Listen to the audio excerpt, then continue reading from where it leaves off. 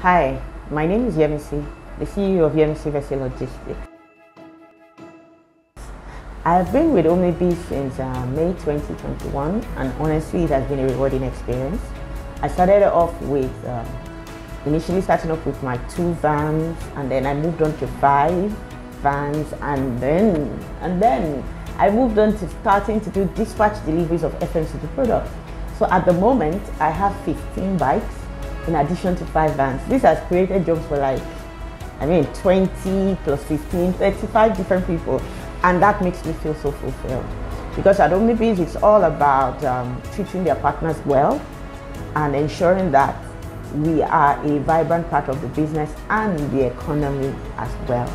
And this has been something that I am so grateful for.